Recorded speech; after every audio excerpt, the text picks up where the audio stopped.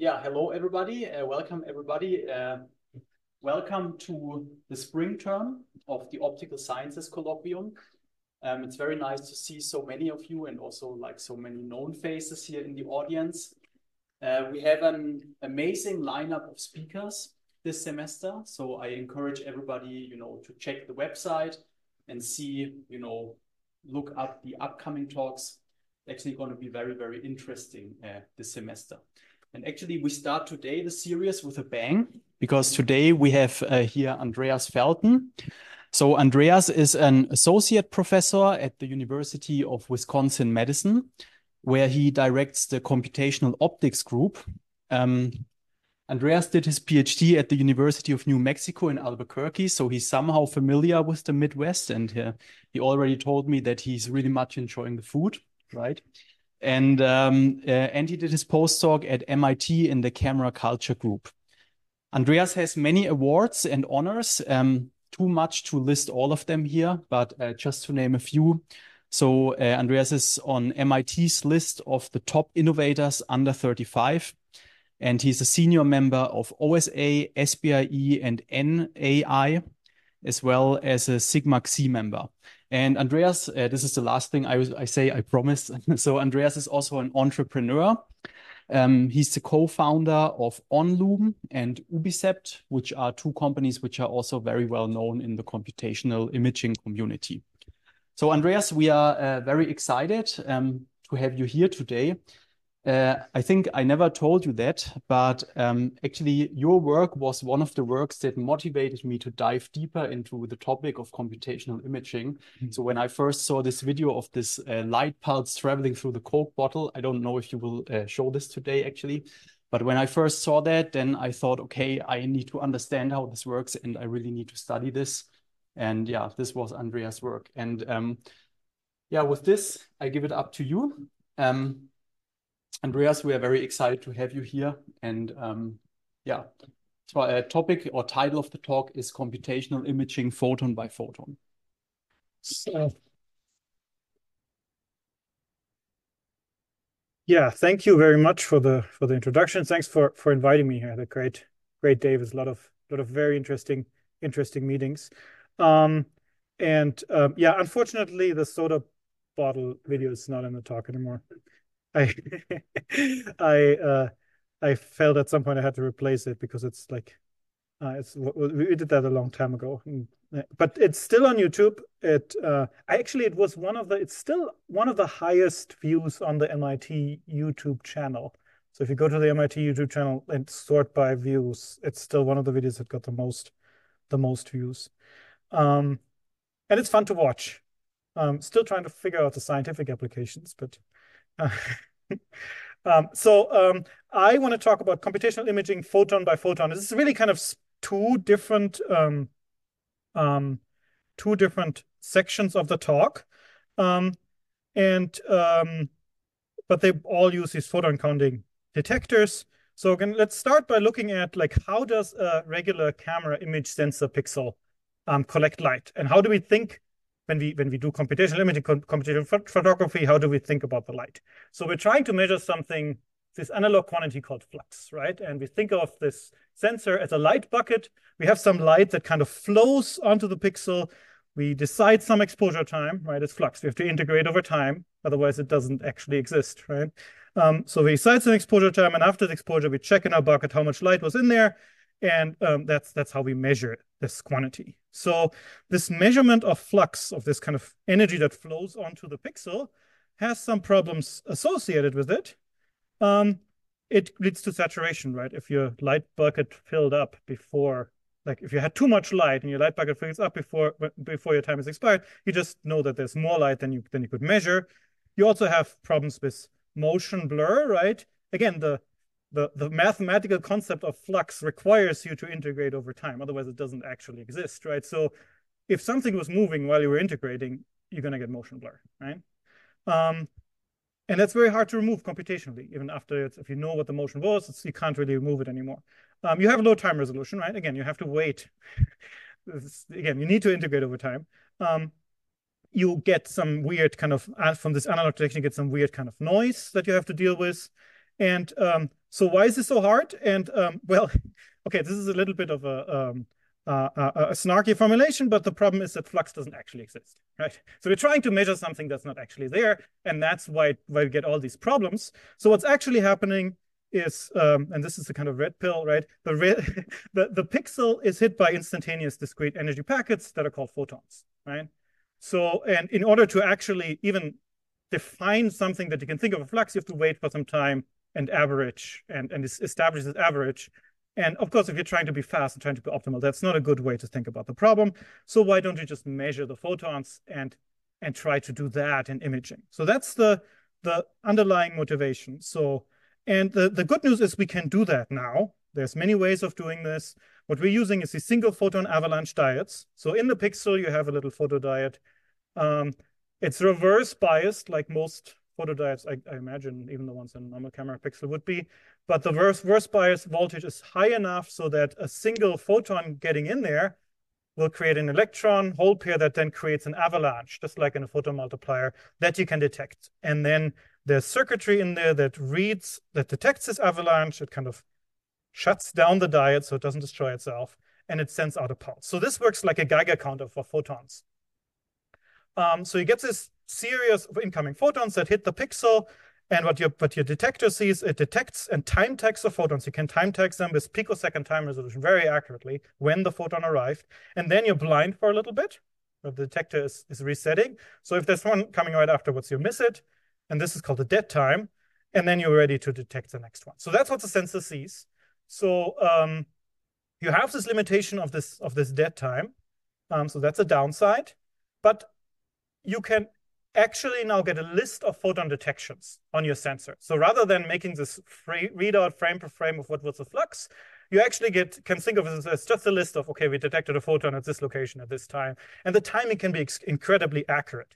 So and I mean the most prior application for these SPAD array sensors was LiDAR, right? So you send out a light pulse, you measure the time it takes for the light to come back to get a 3D image.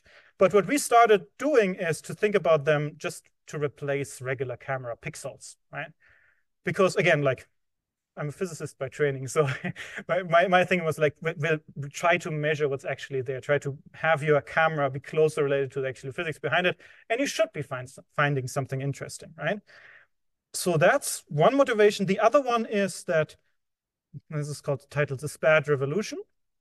Right, these single photon avalanche diodes are made in the same fact fabs, the same factories that make our normal camera chips. There's really no reason commercially why one should be more expensive or easier to make or harder to make than the other. So really um, commercial, like there's no commercial preference for one of them. You use the same infrastructure. So you really can pick which one works better. And then that's what the one that's going to get used. At least I hope that our startup hopes that.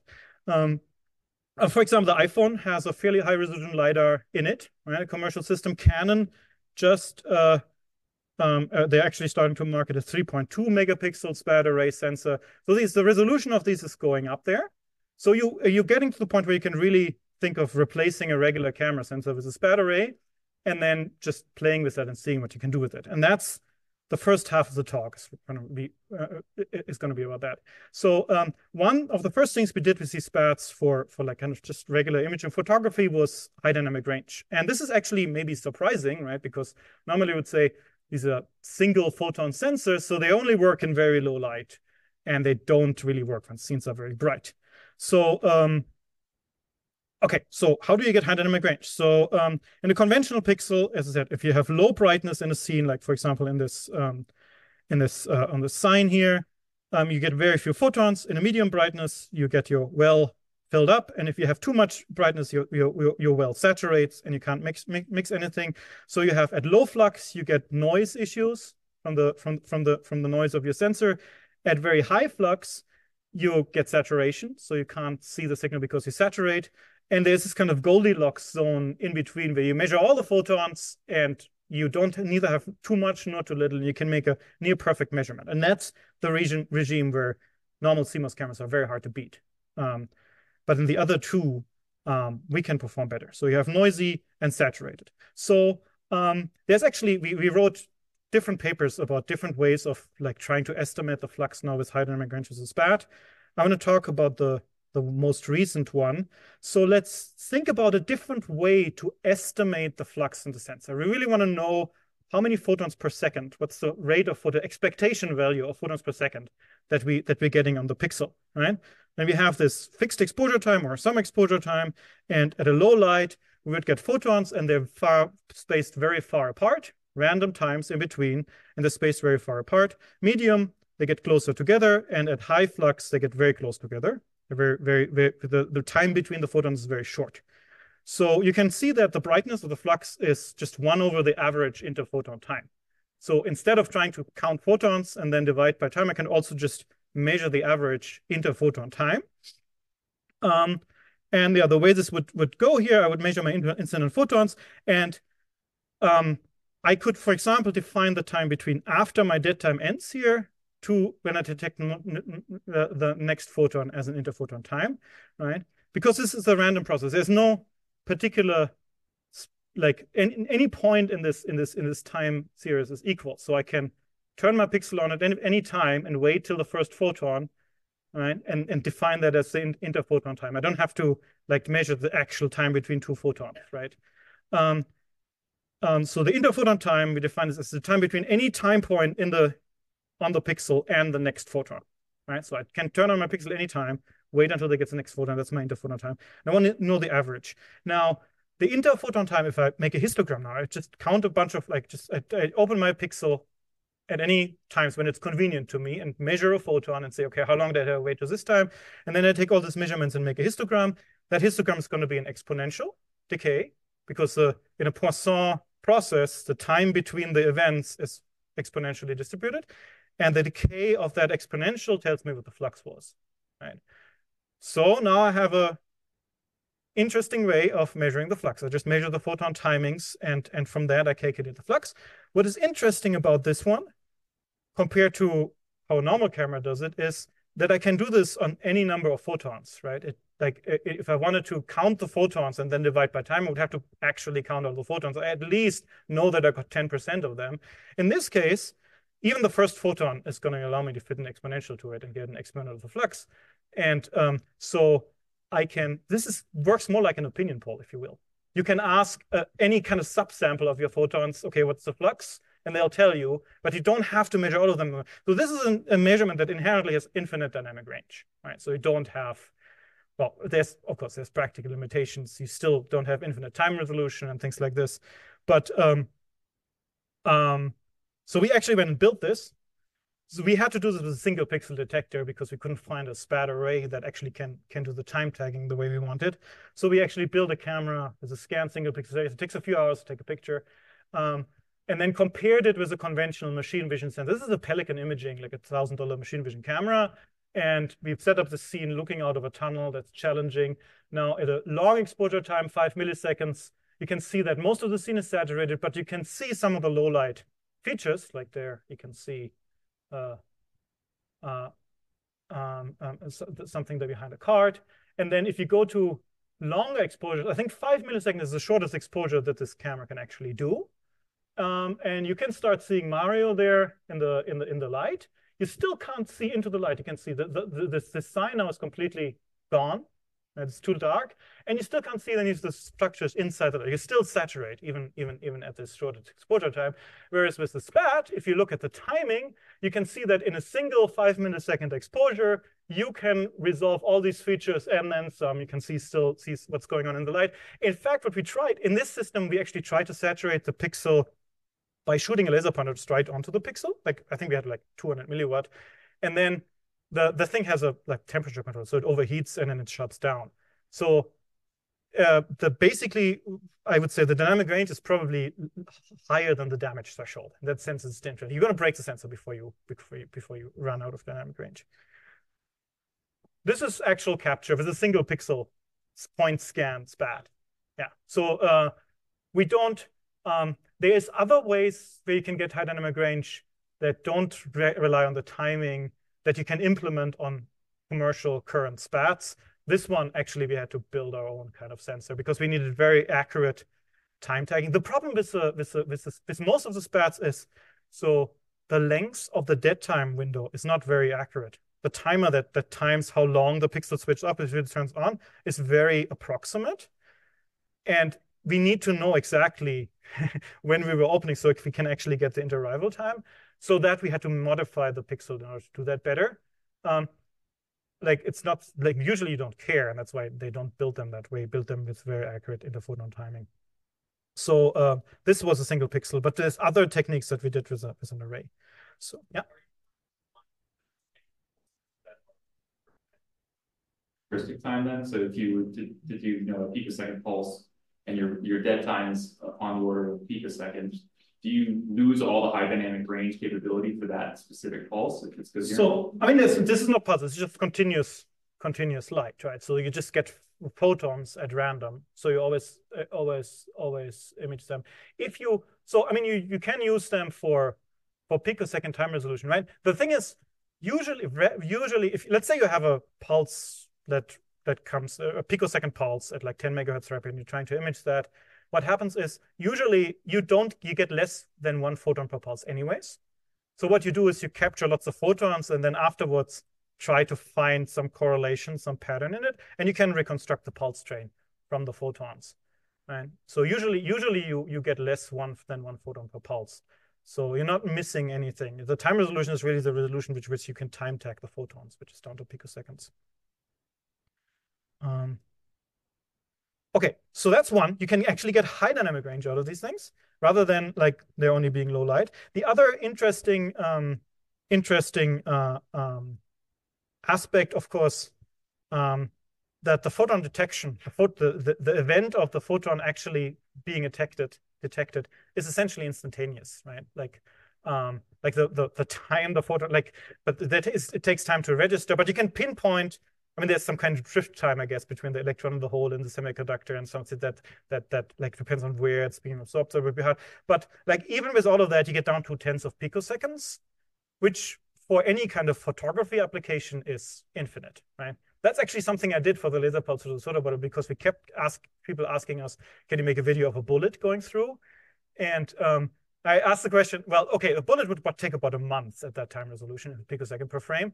But is there anything that would go fast enough so it would actually be moving in this video? And the answer is like nothing that's made of matter because it would have to be accelerated to near the speed of light and it would be so energetic that would again it's not it's not something that happens often so so for all intents and purposes if you do imaging with anything real moving around these things have infinite time resolution the, the photon detections, which means they're very interesting for, for moving objects, right? And that's also something we learned that, so I told you this thing works very, very good for low light. Um, we tried to demonstrate with the camera, and then we turn out if we lower the light level so much that at a normal like exposure time of the camera, like I don't know, 50 milliseconds, that you that you have that it's challenging for the other for the normal camera to actually create an image. You have so few photons that even if you had a perfect camera, you don't see much. Like at least at at if you if you want to do photography, if you if you can do millisecond exposure times in photography in a handheld camera, the camera is not your problem. The noise from the camera doesn't hurt you. It's a, it's the photons that's the problem. You just don't have enough photons at the short exposure times at low light. Um, and even the perfect camera, the best camera, if you could build a perfect camera, it still wouldn't solve the problem. What you have to do is you have to fix the motion. And that is what the SPAD can do for you. Um, now, um, so this is a motion blur problem, right? So you have a, a, a, an, an, object that's moving, you can do a long exposure, but then you get this kind of blur together, which is the convolution of the motion of the object and the kind of exposure function, right? You can do a short exposure, and then you get a noisy image without the motion, right? And the thing is, in a normal CMOS camera, this read noise that you get per, per readout is actually goes up with shorter exposure because everything heats up and everything. So if you try to make this like shorter, you actually get more noise um, so um, the solution, and this is actually implemented in your cell phone now, this burst photography algorithm, right? It actually, instead of capturing one image, it captures a short video of lots of frames. Then it picks one keyframe and it tries to align all the other frames to that one keyframe and then adds everything together. So you get, you get, and you can of course then pick the other frames and make a video out of that. So you have something that that has no motion blur and no um, and, and low noise. That works surprisingly well. The algorithm is actually very well, even for, I'm going to show you something later, like just using that normal burst algorithm, it works really well, even for very complex motion. It's a very smart, I'm not going to go into details of the algorithm, but it works really well. The problem is, again, if you do this with a regular camera, you still have to figure out what your exposure length should be, right? If you have to like like you have to know a priori how fast the object is, how bright your scene. If you have different things in the same scene, you you like you can't choose resonant exposures, right? And again, with a normal camera, usually the noise goes up with frame rate. So if, if like you get readout, every time you read out, you get some noise. So more frames, just add more noise. And then the readout noise goes up if you increase the frame rate. So you really don't want to capture faster than you can. In a SPAD, you have, you have no such problem. You get the, the full resolution at all times, right?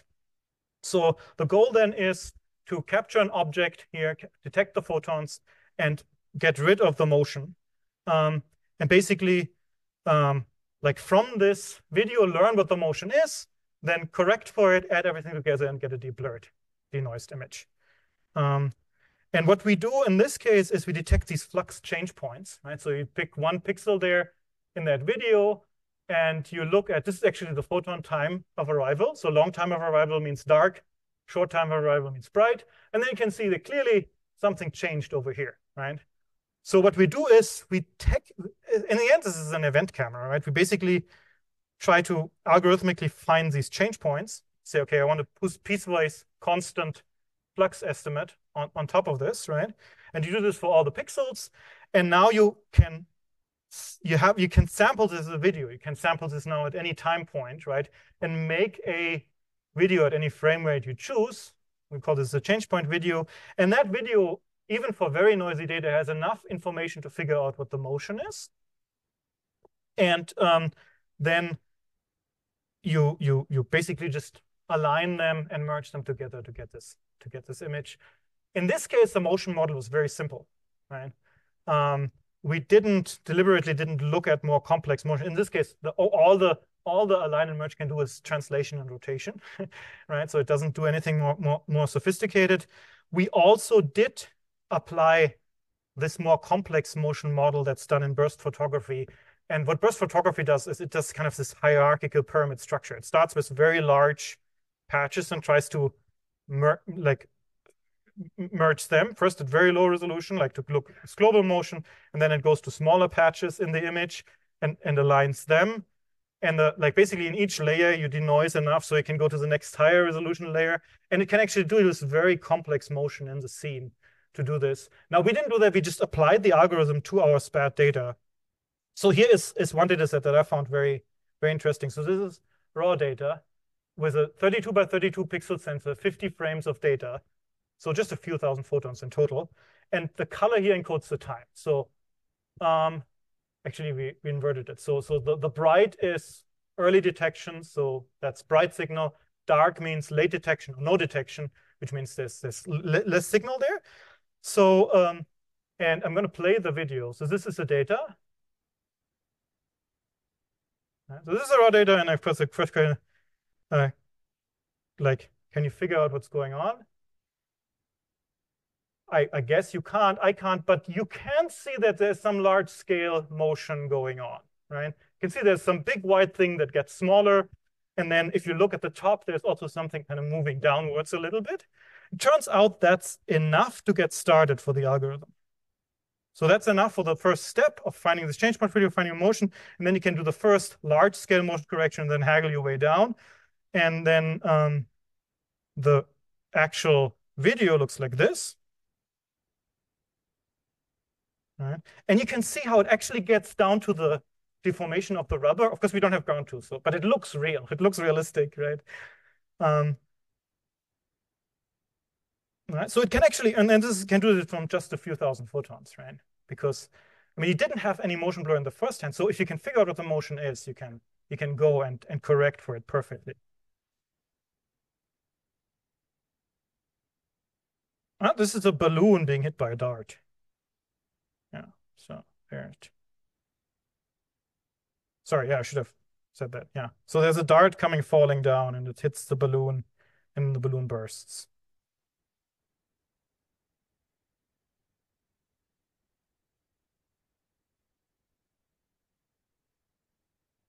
Um, okay, so this is uh, basically the the the basic um, kind of um, um, um, research on on the on, on fluorescence cameras. We have been doing some work on on on like making these higher resolution, and um, uh, I think this these first some of those first things like Mohit Gupta and I did them together. Mohit has kind of branched out and gone to bigger resolution and added color and doing done, done a lot of like computational improvements to to processing these.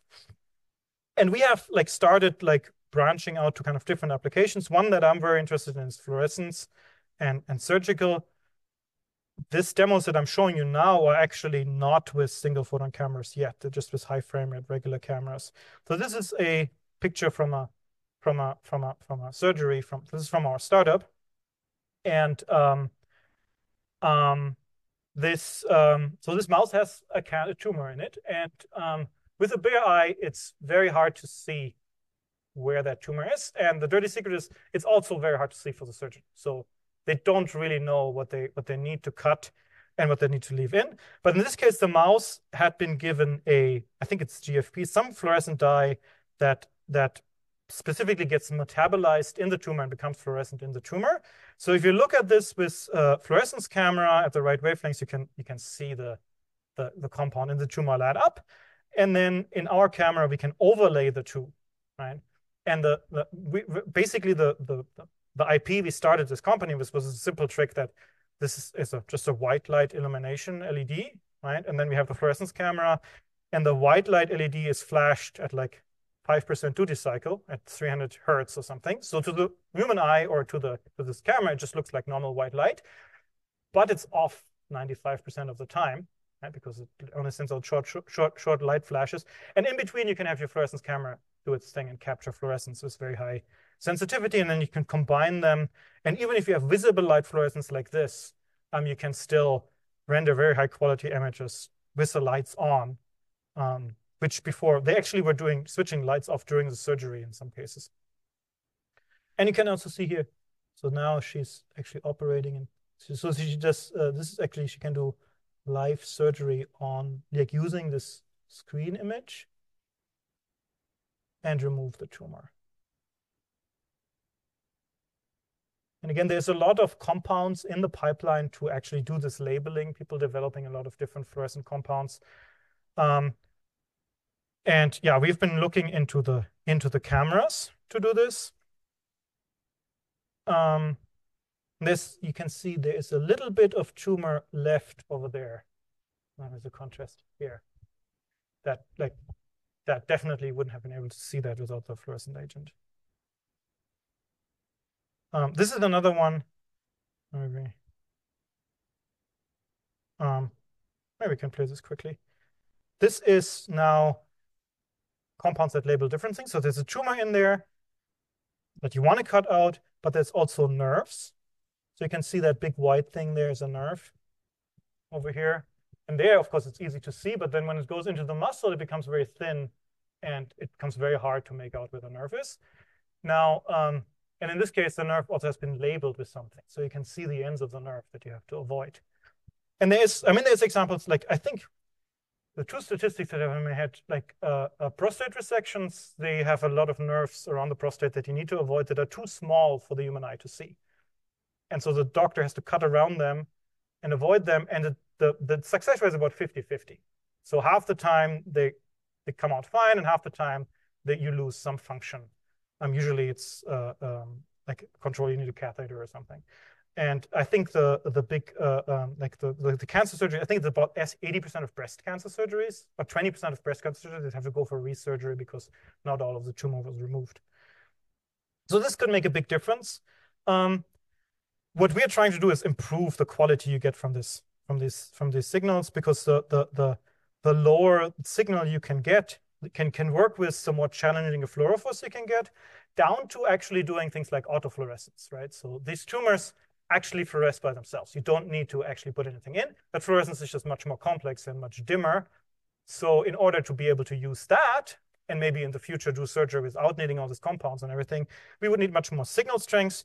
And um, so what we've been trying to do now is, with the system now we have this white light view and the fluorescence view, and um, we can do this kind of denoising that I showed you before, but we can cheat, right? Because we know the motion from the white light view, right? So in this case, um, we have uh, our reference image, which is like this is a piece of chicken thigh from the supermarket. Um, and we injected some uh, fluorescent dye into the veins here. And um, this is the ground truth, which is what our fluorescence image camera on the system actually sees. And then we just messed it up, added a lot of noise. And then we train an algorithm to use this image and this video to kind of uh, get us a denoised video, right? And the simplest thing you can do is, um, or the, the simplest cue you can use is that um, you can get all the motion information from here, right? And then and then and use it there. But there's of course other information in this image, like different segmentation and everything that the algorithm could use to improve this. This was the first try. We have things that work much better now. And um, I mean, it's still kind of an open problem. Interestingly, the best thing that works is just the standard image denoiser.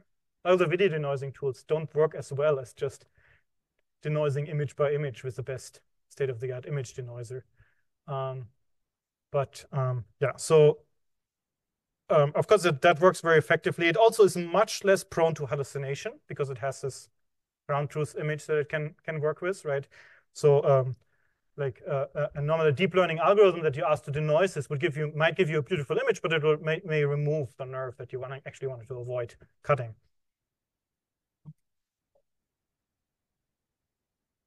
Um, this wasn't real time. I think we have an algorithm like that that can run in real time on a GPU now. Um, this one, this one uh, took a long time, but this, this at this stage can run in real time because it's mostly just the same burst photography alignment thing, and we have um, we have several versions of that now that run in real time. But this one didn't. Um, and then once we're doing now, we're going to the like more sophisticated algorithm part. So it's it's not real time. The other thing is, um, so it, there's a runtime, and then most of the video denoising out there, including this algorithm, actually do this thing where they like you run the algorithm once on the video forward and once backwards, which get, gives you much better results. Um, but of course, that doesn't work on an online system. So one thing that we're also doing now is like, what if you only have the past and you you don't you don't have you don't know the future? Um,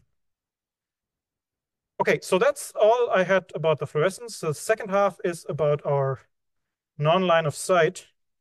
How much time do I have? Okay, I can can talk a little bit. So it's now we're shifting gears a little bit. Um, I guess we do all the questions together afterwards. Yeah, and so we're shifting gears a little bit. So non-line of sight imaging, it's actually, so the non-line of sight imaging research was what I did before I did all this single photon stuff. And the kind of SPAD sensors that we're using right now, we came across them because we were looking for something better for non-line of sight imaging. The first non-line of sight imaging systems were done with a streak camera, which just not something practical. And if I hadn't come across the SPADs, I probably wouldn't be doing non-line of sight imaging anymore today because um, it's, it's, it wasn't a practical system. So non-line of sight is, um, the idea is, um, so we have something that's very similar to a LiDAR system, right? So we, we have our camera here, we can we send light pulses into a scene on this relay wall, but our goal is not to image to get an image of the relay wall. We want to image into this hidden scene and image what's around the corner, right? So when we can send pulses to the wall, light goes in, it interacts with the scene, and then we can image what comes back to the wall with a camera over here, right? So we know where on the wall we where and when on the wall we transmit and where and when on the wall we receive the light, but we don't know the, the, the scene that actually created that pattern. So the goal then is to reconstruct a picture of the hidden scene. And this is actually an image from the lab. This is a scene in the lab, and this is the image of the reconstruction. Um, so that's what we what we what we, what what we're trying to do, and um, well, uh, so we have a bunch of degrees of freedom, right? You can we can scan the laser pulse, we can illuminate any point point we like, right? And we can look, we can focus our camera or look at different camera pixels, so we know different locations, right? And if you do this, if you send your shoot your laser pulse on the one point there, and you look at the signal from these two different camera pixels on our SPAD, you get these time responses, right?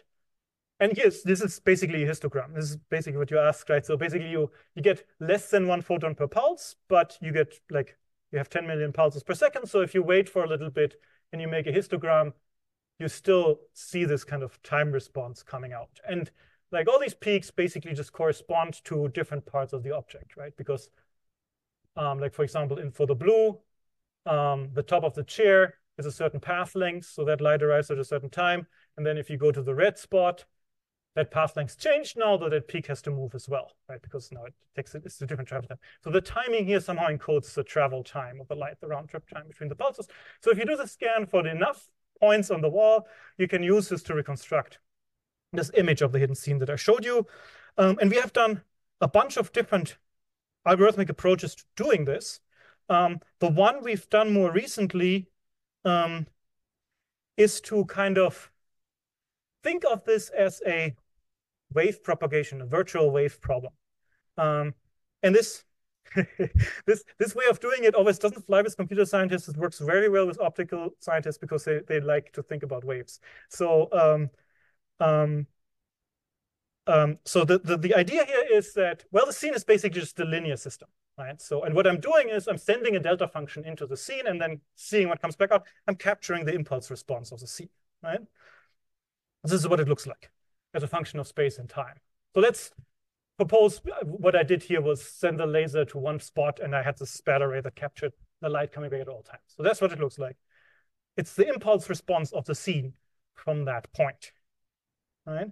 At the relay wall. Now, if I know the impulse response of a linear system, I can compute the output of the system for any input, right? So now I actually can computationally pick anything I want to send in the scene and see what would come back out. So, and because I like waves, well, I just say, okay, I want to, I want to send this wave packet in, right? Of course, this has to be like, this wavelength that I use has to be like centimeters or so because that's my time resolution, right? My time resolution here, pulse width is about like a few centimeters. So my the wave packet I design here that I convolve with this has to be longer than my delta function, right? But basically, I just convolve my captured data with this kind of wave packet system. And then what I get is what would have come out of the scene if I actually had sent in a signal that looked like that, like the wave, and that's just a wave plot, right? So now I could send this off to an ultrasound engineer and tell them, here, this is what I captured. Can you reconstruct an image? And they would do it, right? It's just a wave. Or I can, if you do digital lithography, whatever, like all the waves, like the, the, the math is always the same, right? So the, the beauty of this is now we can we can just use existing operators like Rayleigh-Sommerfeld diffraction. What we, what we use as fast methods of solving that out there. Um, that's what we use to do the reconstruction. And also, to me, it's also it gives you a very nice way of reasoning of what's going on here, right? It's just a wave you're reflecting off of things, and it's going to behave like a wave. And and uh, a lot of the things that I'm going to show you later is basically just taking that idea, like it's just a wave, it should behave like a wave, and just trying to see how far we can take it. Um, so basically, this is uh, the, the direct reconstruction here. We have we capture our signal, impulse response of the scene. We convolve it with this virtual wave, right? Um, that gives us this, this wavefront at the relay wall, and then we use a diffraction operator, Rayleigh-Sommerfeld, um, to solve it. I actually didn't know that there's a convolution. This can you can write it as a convolution and solve it as a convolution. From my optics classes, I always thought you have to go to the the Fourier like uh, or Fresnel operator to do a convolution, but um, this is still a convolution. You just can't analytically write it down, but, but computationally you can still solve it as a convolution. So it's still at, just as fast. Um, so um, so this is a reconstruction. And now, um, I mean, this reconstruction, of course, is what this what this our our virtual camera sees at the relay wall as this virtual wave. So it actually can you can actually play this back as a function of time. Right. So now you see your virtual pulse moving through the scene and illuminating all these different objects. Yeah, this is where the projector contrast really starts.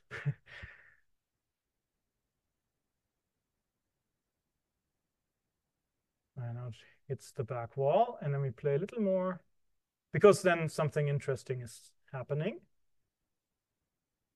And there, there's another stuff coming from the side. So this is a little grainy. Maybe I'll play it again. So this is the scene. Again, this is just a 3D reconstruction of the scene viewed from the side. You can see the chair over here, the back of the chair. This is this kind of box with the posters in. There's a shelf here. You can see some of the books. Um, and this big wall that we set up in the back. You don't see this because it's actually occluded by the shelf. It's in this perspective. You don't you don't see the shadows in the right locations. Um, this actually is a shadow of the chair. It just like it's a weird it's a weird perspective. So, but now let's play it back. So we're actually seeing this virtual pulse that we made coming from the center of the scene and illuminating the scene. And again, this is just like solving the Rayleigh operator and like playing it back as a function of time. And um, you can see that, yeah, we first see the chair light up. And then the shelf behind it and this kind of Amazon box here. And then the chair lights up again, right? And then eventually you see the stuff back here. There, that's the wall. And then you have light coming from the side and washing over the scene.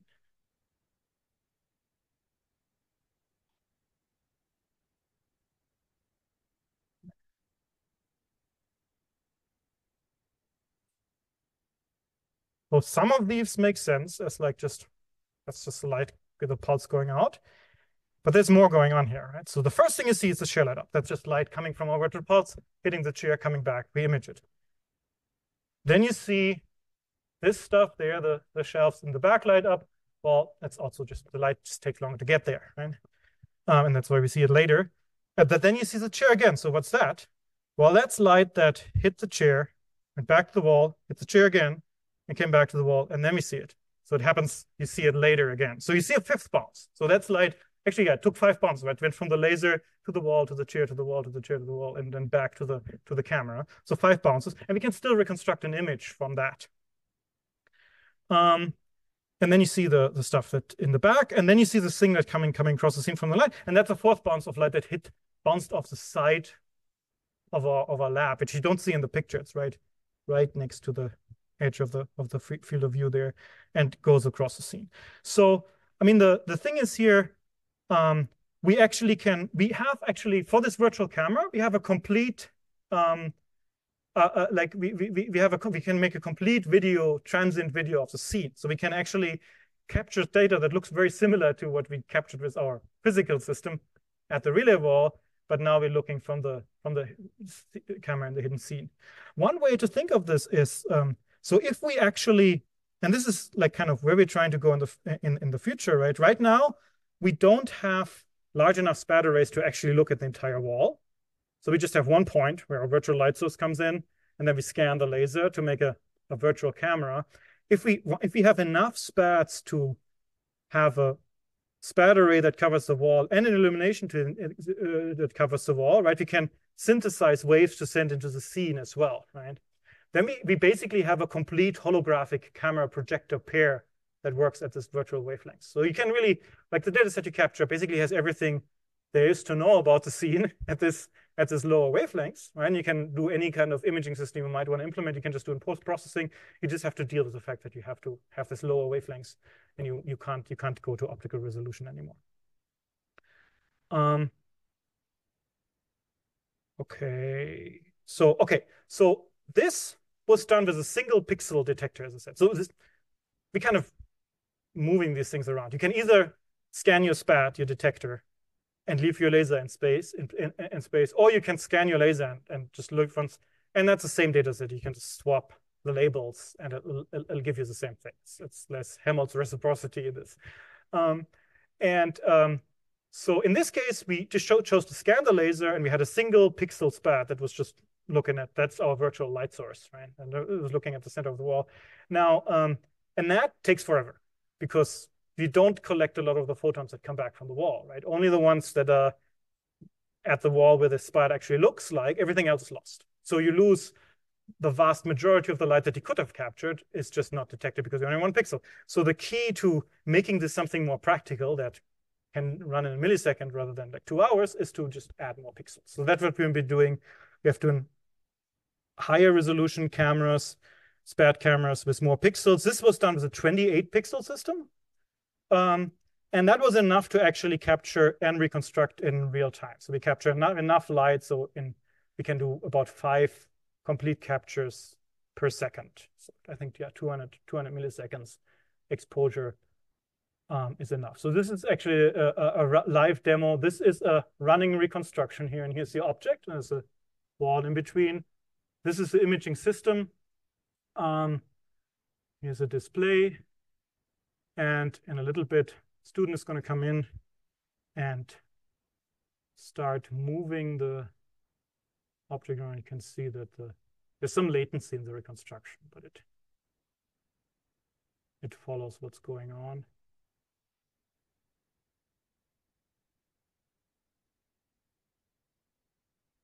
And he's going to come in. This. Oh, now he's going to do some exercise.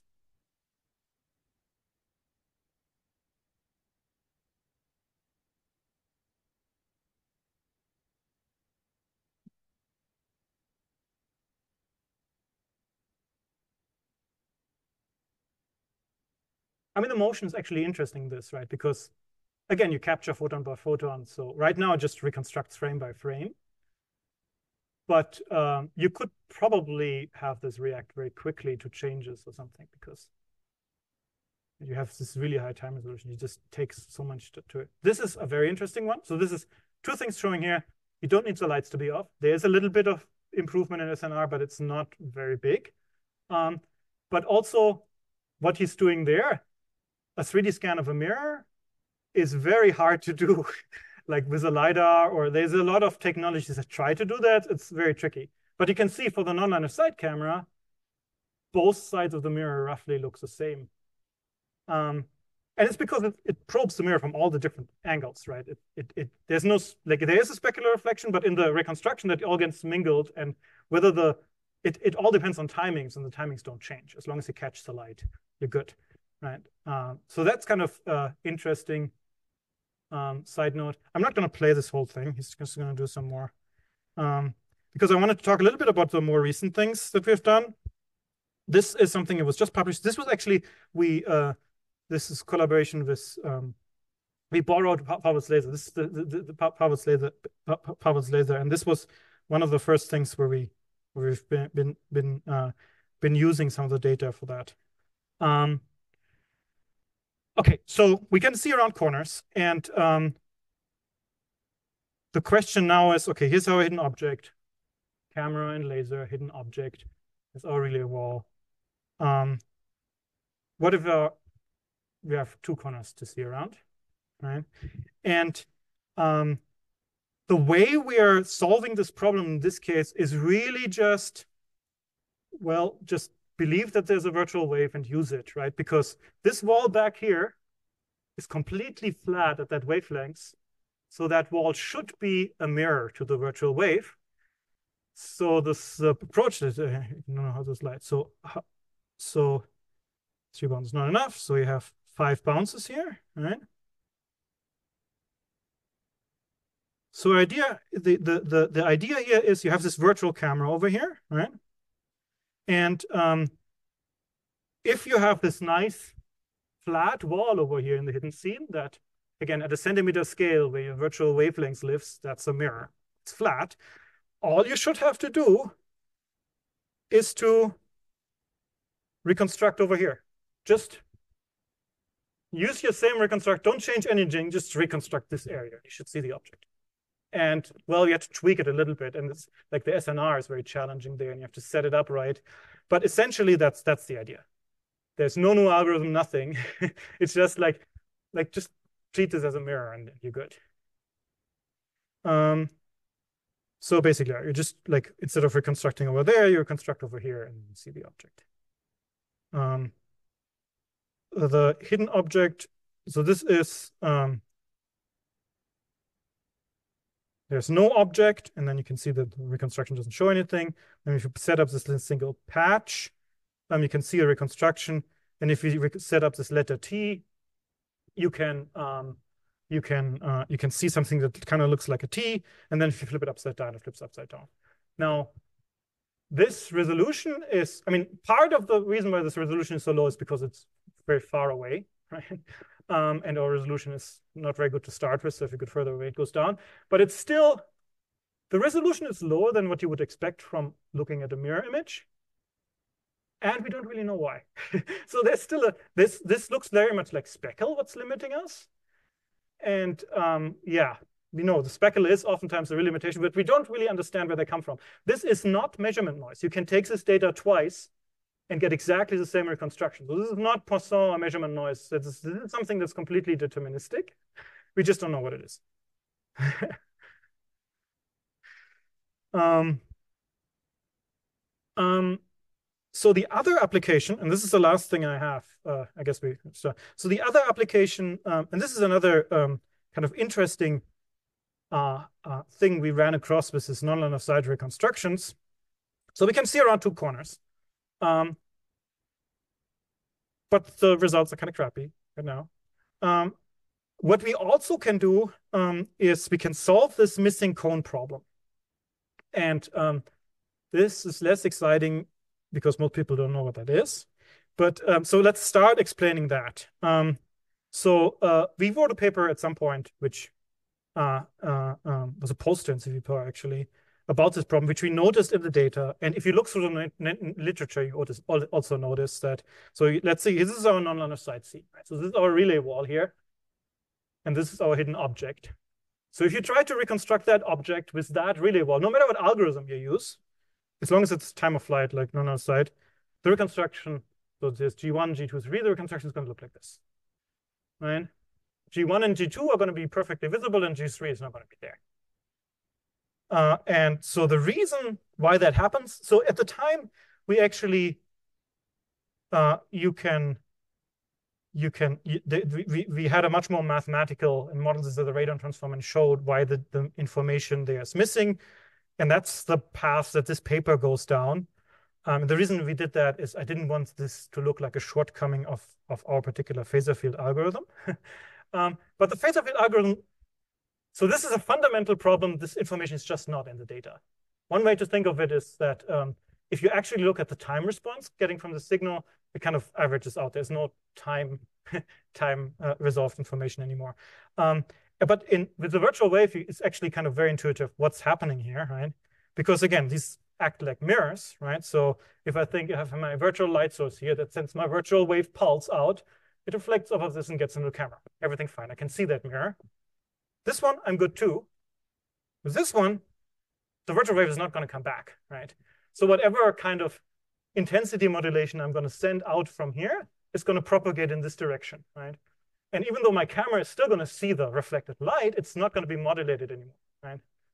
The intensity, so basically, the, if I if I send a intensity modulated wave here, whether it's a pulse or some kind of um, uh, uh, intensity that gets brighter or darker, that's going to go to the scene. And then if you look over here with your detector, you can see that modulation. You can see it get brighter and darker.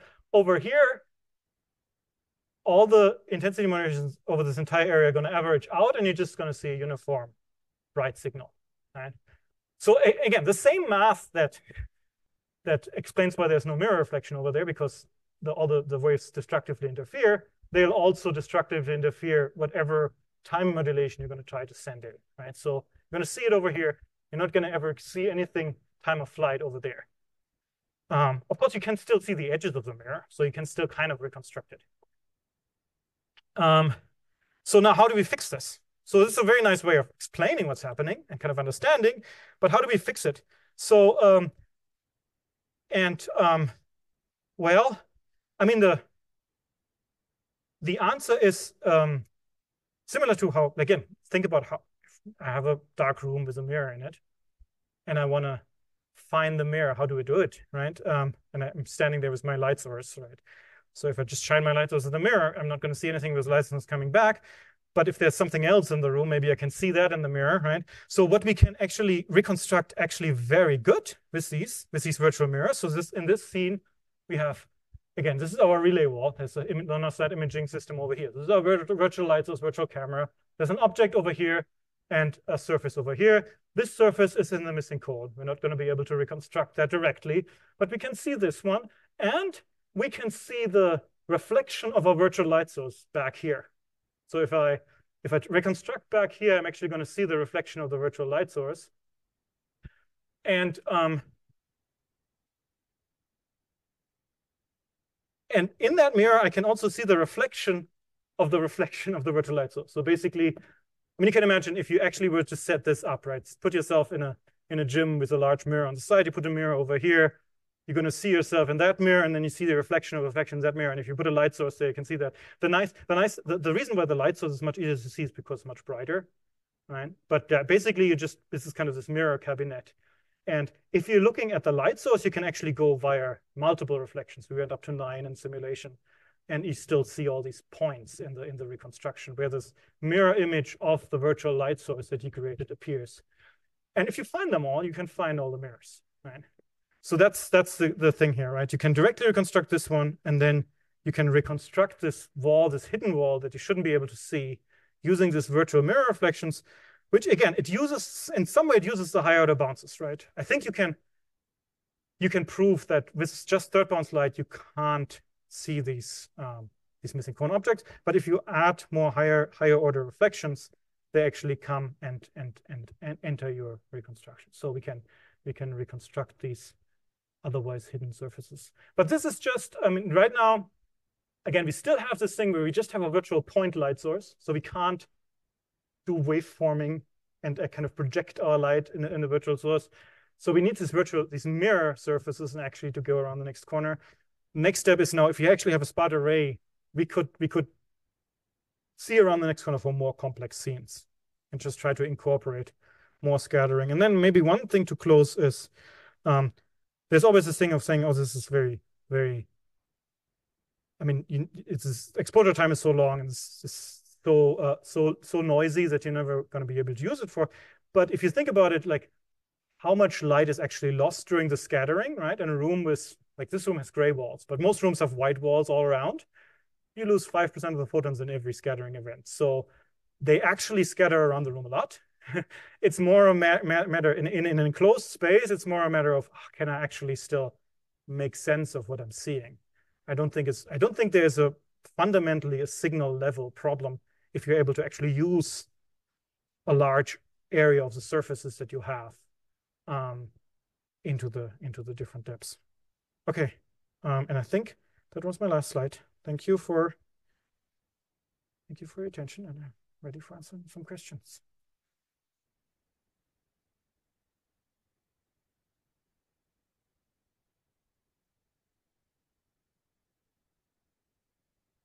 Thank you, Andreas, for this very nice and interesting talk. Um, do we have any questions? Yeah.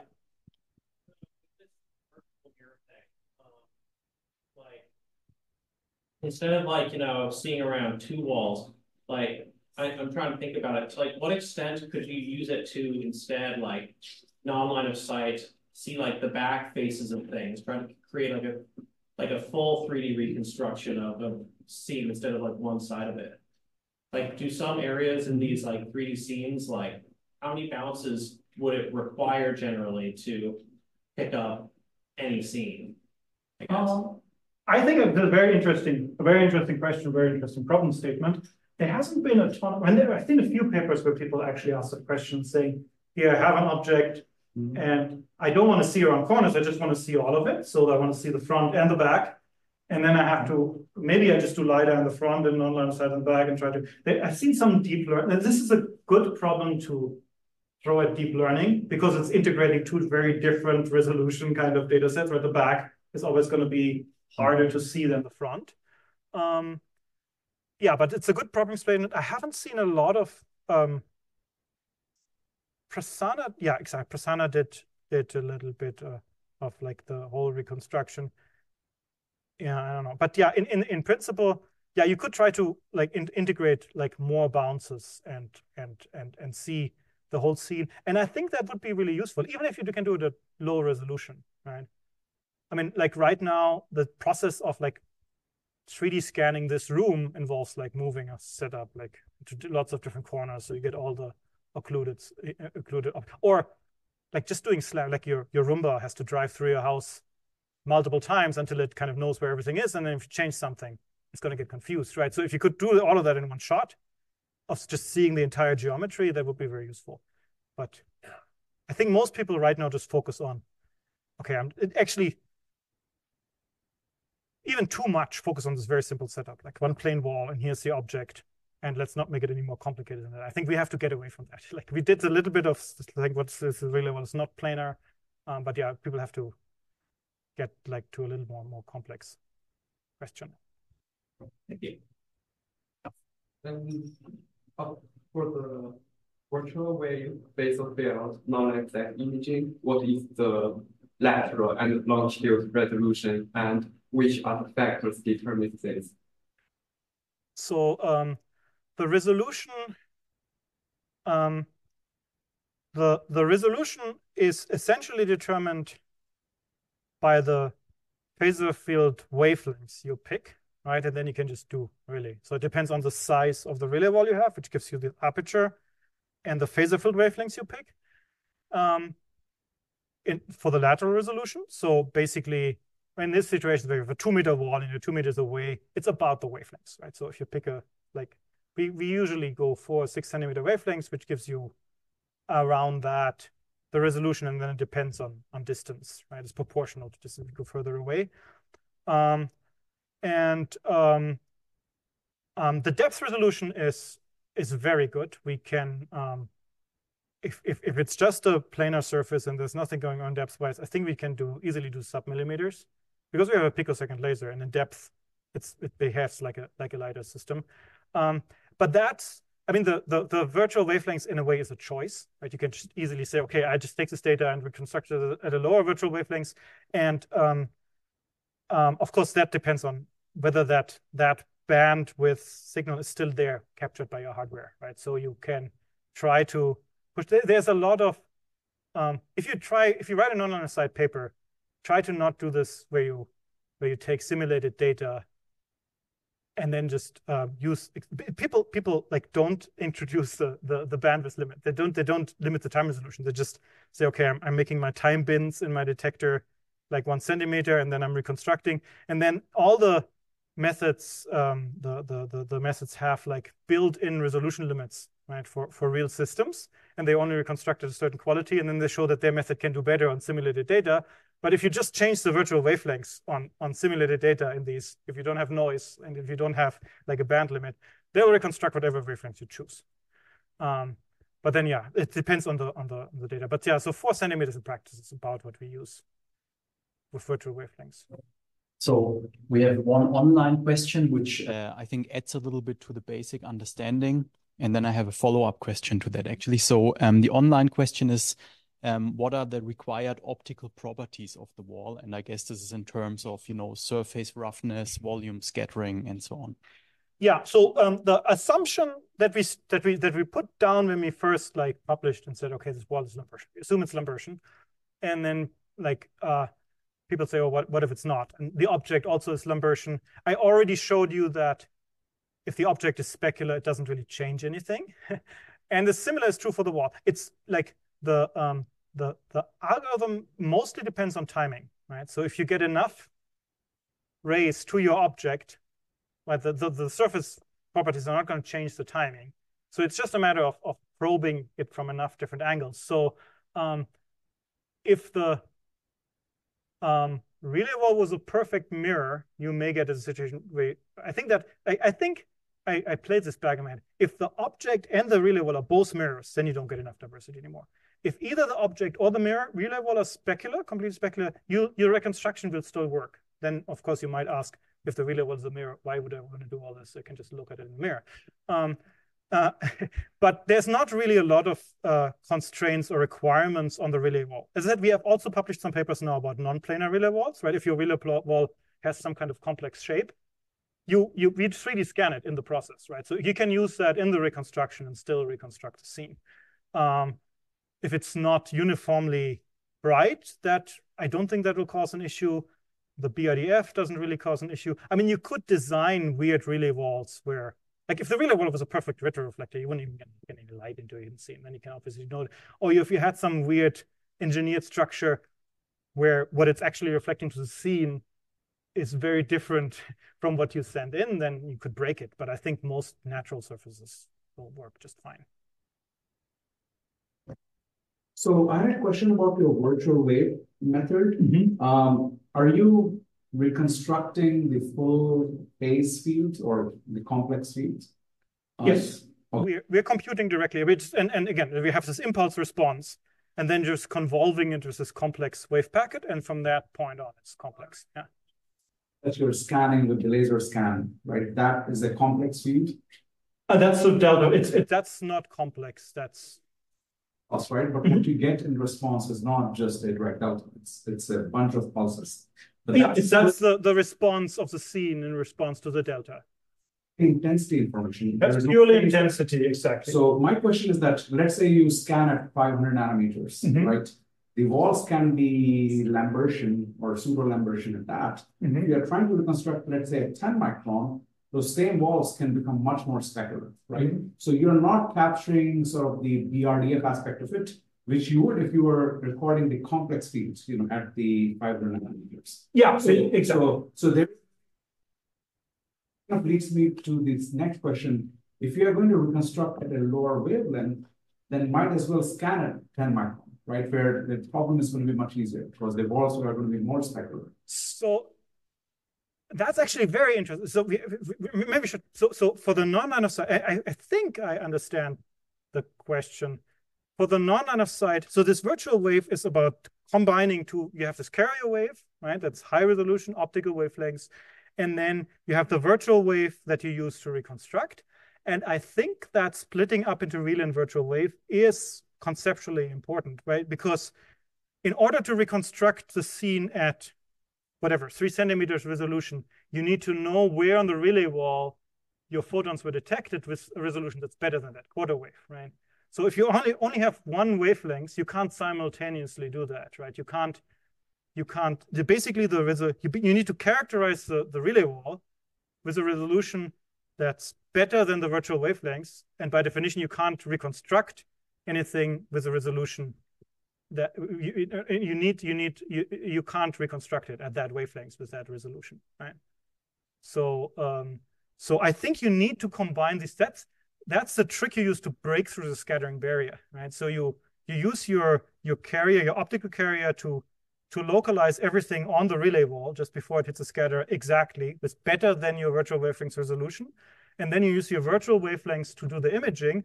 And the, the trick then is that you can characterize um, what's happening on the relay wall at a resolution that's better than your virtual wavelengths, which actually allows you to reconstruct. You're seeing more blur than expected is because you're missing the phase information of the higher uh, frequency scan, right? Because it's just purely intensity. And there is no way you can create that information at the lower wavelength. We have the phase of the virtual wave, right? That's just timing. We do have that. Measurement. Because the virtual is just processing, right? You can't add information just by processing something. So if that phase information is missing, which is, you know, you can manifest that self itself in terms of speckle, right?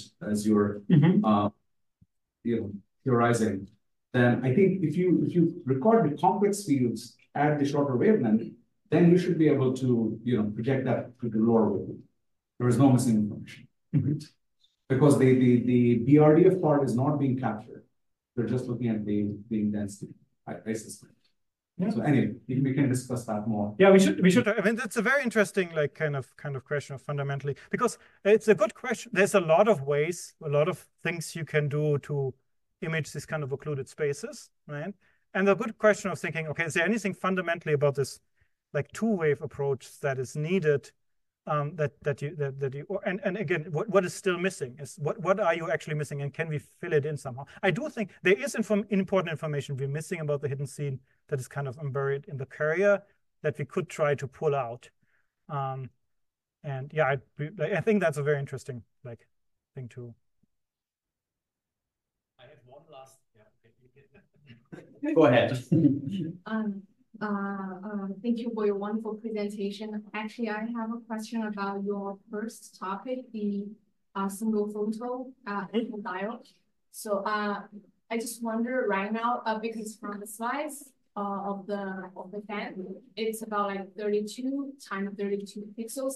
I wonder right now, uh, can it go like larger, like normal um, uh, single sensor um, Um, Yeah. I have this question because if I don't get it right, uh, if I get it wrong, so instead of counting the total number, photo numbers, it counts the uh, photo duration time.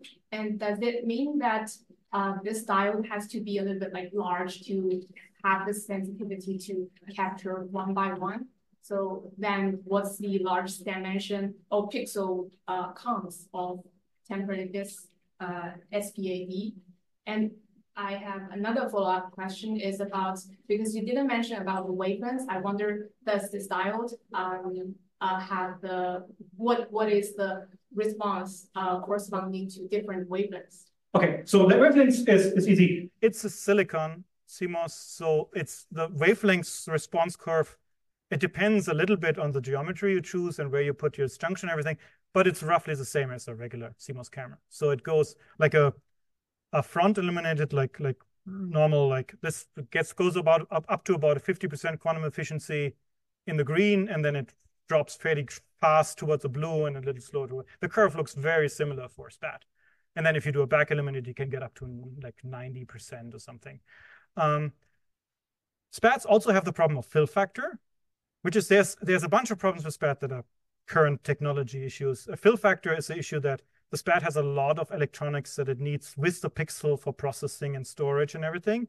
And in a normal, like kind of legacy CMOS process, as we're still using them, I think everybody's transitioning, you have to put that next to the pixel on the same plane, which means the actual pixel is fairly small. Only 10% of the camera's actual pixel and everything else is not light sensitive.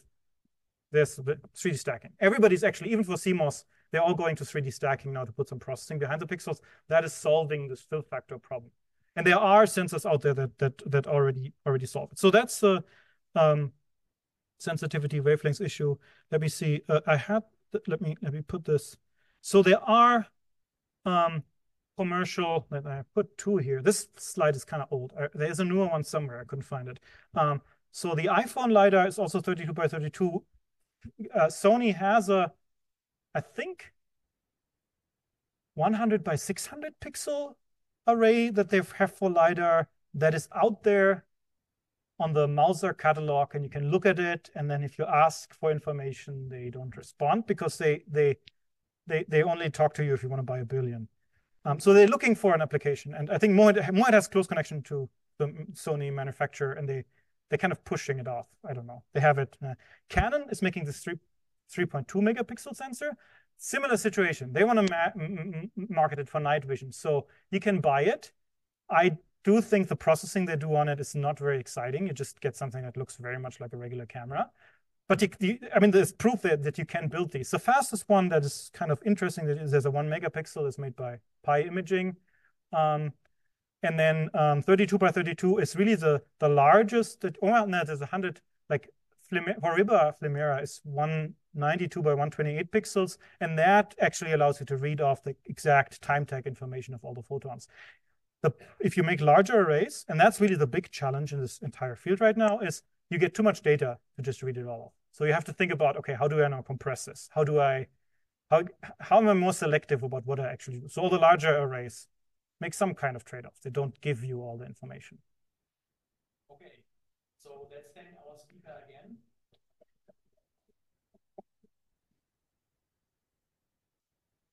I'm sure there are like more questions, but uh, Andreas is available for questions after the talk. Um, thank you all for attending. See you next week. Yeah.